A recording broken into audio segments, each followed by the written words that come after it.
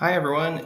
So I just added the Wechsler nonverbal scale of ability to the report. So I'm just going to show you how quick it can be for you to fill it out. So you're going to put your T-scores right there.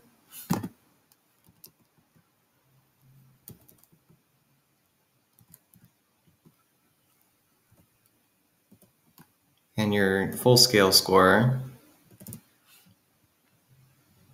and there you go.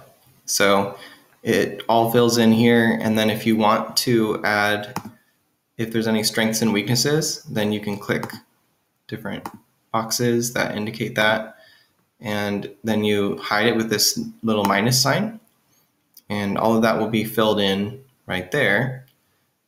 And another cool thing that it fills in automatically is this dynamic chart as well. And in the summary section, I'll show you that as well right here. Um, it will have a little blurb for you as well. So there's a lot of convenience factors there, and that's the WNV.